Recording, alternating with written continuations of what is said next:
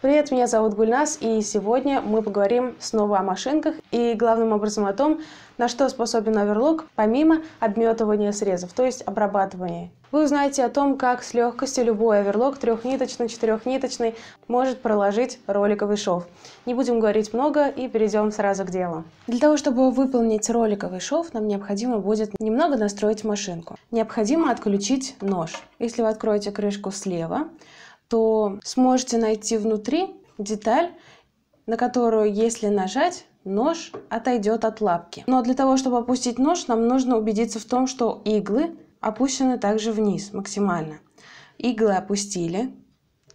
И теперь снова нажимаем на эту деталь и свободно опускаем нож вниз.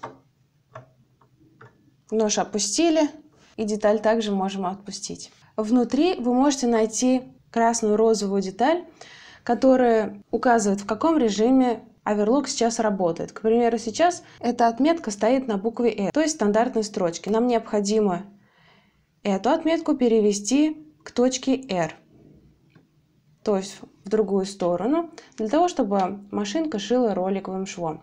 Но ее просто так не переместить, для этого необходимо также нажать деталь слева, только уже вторую, ближе к нам, и свободно можем переместить эту отметку. Но что происходит в машинке в это время? Вот здесь вы можете увидеть деталь, тонкая узкая деталь, благодаря которой строчка получается широкой. Посмотрите на деталь, которая сейчас движется. Именно она, благодаря своему присутствию, делает строчку шире. Но если мы ее уберем, то строчка получится совсем узкой, то есть роликовый шов. Обе крышки можем закрывать, и нам остается только изменить частоту стежка стройки на букву R на роликовый шов. Ну а дифференциал можем оставить тем же, на единичке, с которым мы обычно и шьем. Ну и что касается игл, то лучше всего заправить нитку в правую иглу, для того, чтобы строчка была как можно уже, а левую иглу можно и вовсе удалить, просто открутив ее.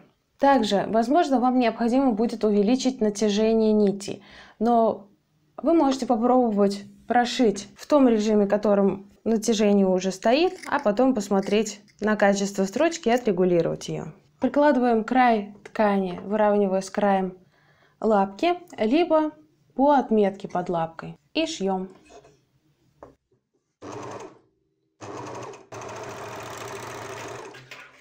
И вот такой узкий, ровный, аккуратный роликовый шов у нас получается. И обратите внимание на нитки. Если вам кажется, что нитки натянуты недостаточно хорошо или какая-то из нитей петляет, то это означает, что необходимо увеличить натяжение нитей. Так строчка будет еще лучше и аккуратнее. Вот и все, на этом роликовый шов готов.